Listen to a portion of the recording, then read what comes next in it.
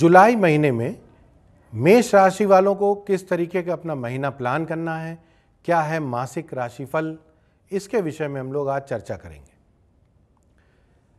मेष राशि या मेष लग्न, मेष राशि वालों का जो स्वामी है मंगल, वो कर्क राशि में विद्यमान है। यही घर इनका नीच का भी है और चौथे घर में है और ये 12 जुलाई को ये अस्त हो जाएँगे। सूर्य तीसरे भाव में है, मिथुन राशि में। और ये 17 जुलाई को ये मिथुन राशि से कर्क राशि में चले जाएँगे चौथे स्थान पे, जो कि सुख का स्थान। बुद्ध ग्रह चौथे स्थान पर हैं, यानी कर्क राशि में। 8 जुलाई को ये वक्री हो जाएँगे और 14 जुलाई को ये अस्त हो जाएँगे। और 30 जुलाई को ये फिर से उदित हो जाएँगे और 31 जुलाई को ये पुनः मिथुन राशि में, यानी तीसरे भाव में आ जाएँगे। बृहस्पति आठवें स्थान पे हैं, वृश्चिक राशि में वक्री हैं। शुक्र तीसरे स्थान पे मिथुन राशि में है 9 जुलाई को शुक्र अस्त हो जाएँगे। अस्त ग्रह का भी एक प्रभाव होता है, इसके लिए हमारा शुक्र अस्त पर अलग वीडियो है, इसको भी आप देख सकते हैं। तेईस जुलाई को कर्क राशि में, चौथे भाव में ये प्रवेश करेंगे। शनि नवे भाव धनु राशि में है। राहु तीसरे भाव मिथुन राशि में विद्यमान है। केतु नवे भाव में विद्यमान है, जहाँ धनु राशि दर्शकों, ये था ग्रहों की स्थिति। मेष राशि वालों के लिए कहाँ कौन सा ग्रह है? अब इस महीने कैसे प्लान करें? इस महीने का जो मेन अपना मूड होगा, जो विचार होंगे कि किस क्या मूड रहेगा इस महीने, ये थोड़ा सा सुख प्रदान रहेगा। यानी हल्का सा आलस रहेगा। या यूँ कहें कि कंफर्ट जोन में हमको रहना होगा। मंगल, चूँकि चौथे भाव से संचरण कर रहे हैं तो घर से संबंधित फोकस रहेगा कि घर में क्या कुछ टूट फूट है या कोई रिपेयरिंग है तो घर को भी वो मेंटेन करेगा। और माँ के साथ, माँ के साथ इस महीने कुछ अटैचमेंट रहेगा, उनको समय भी ज़्यादा देना है। और अगर माँ आपके साथ नहीं रहती हैं तो उनको भी फ़ोन से या उनको बुला सकते हैं या उनके पास जा सकते हैं।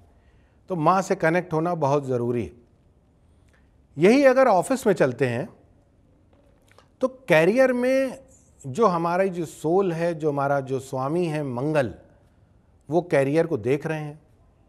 और जहाँ पर देख रहे हैं, वहाँ पर उच्च दृष्टि है। तो कैरियर भी ओवरऑल अच्छा रहेगा। कुछ कठोर निर्णय लेने पड़ सकते हैं।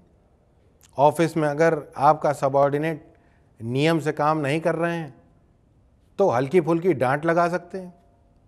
यानी अनुशासन मेंटेन करके रखना होगा।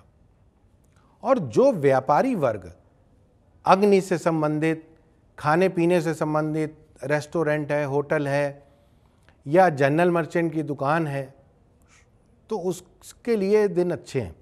पूरे महीने काफ़ी प्रोग्रेसिव रहेगा। बाकी आगे हम आपको बताएँगे कौन कौन सी डेट अलर्ट हैं, जो अलर्ट रहना है। लेकिन ओवरऑल कैरियर वाइज समय अच्छा है। चूँकि बुद्ध की दृष्टि भी मिश्रित रूप से कैरियर पे पड़ रही है इसलिए एनर्जी के साथ साथ प्लानिंग भी करनी है। हमेशा बल से काम नहीं होगा, दिमाग भी लगाना है।